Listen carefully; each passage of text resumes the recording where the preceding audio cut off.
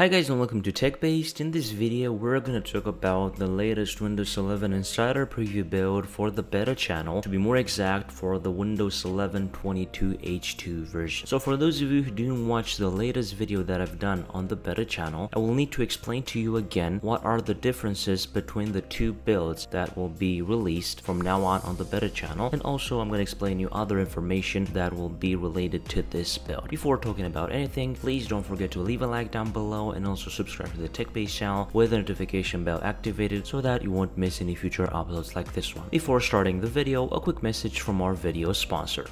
This video is sponsored by appmysite.com. Appmysite.com is a very cool website that allows you to convert your website into an awesome Android or iOS app. AppMySite makes app development easy. You can build premium native mobile apps for both Android and iOS without writing a single line of code. The process of creating an Android app is really simple and you just need to select certain design elements and in the end connect your website with the platform. Finally, you will be able to download the app for your phone and use it. Visit appmysite.com for more details and create your app today. Let's continue with the video.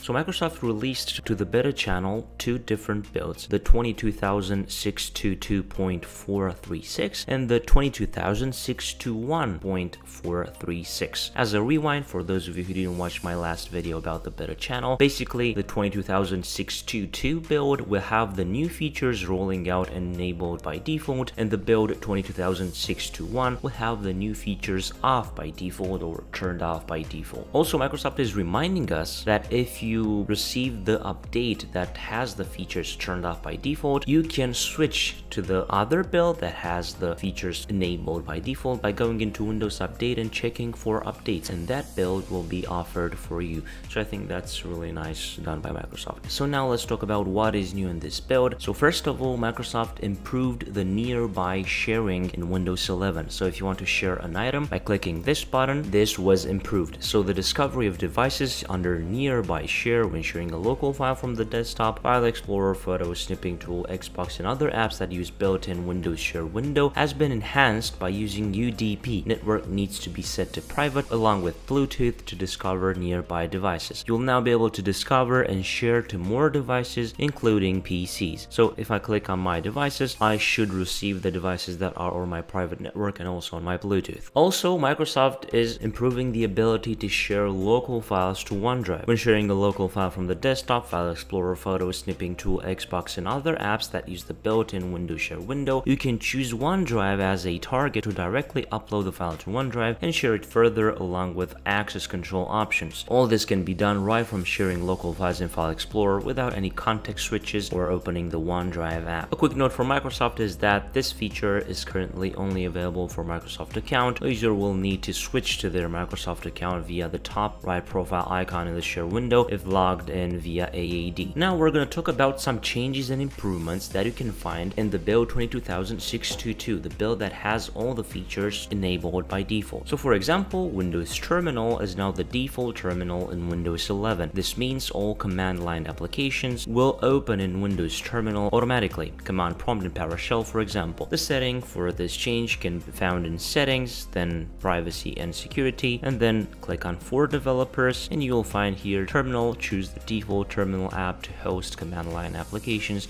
and you can change it from here. Regarding input, you can now report animated GIFs that you feel are inappropriate from the emoji panels. So if you are in the GIFs section, you can click on report a GIF and you can select the GIF to report as inappropriate. Now let's talk about a few fixes. So these are again fixes that are only available in the build that has all the features turned on by default. So regarding File Explorer, Microsoft fixed an issue where the tab order when using Control plus tab would be wrong if you rearrange the tabs in File Explorer. They fixed an Explorer crash when dragging tabs around. If show all folders is enabled, the dividers in File Explorer's navigation pane should no longer show. Opening a zipped folder in a new tab should no longer have a blank tab name. Removable drives should no longer unexpectedly displayed in a section by themselves in the navigation pane. They also fixed an issue where the add new tab button wasn't clearly visible when using aquatic or desert contrast themes. A faint line should no longer display display between the current tab and the command bar, updated the tooltip when hovering over a tab to suggest using Ctrl plus W to close the tab. If focus is on the tab row, Ctrl plus W will no longer unexpectedly close two tabs instead of just the tab in focus, and they also fixed an issue where the tab row might unexpectedly expand vertically, covering the command bar contents. And we also have a quick fix regarding start. Microsoft fixed a start crash, which was impacting some insiders on build 22622.160.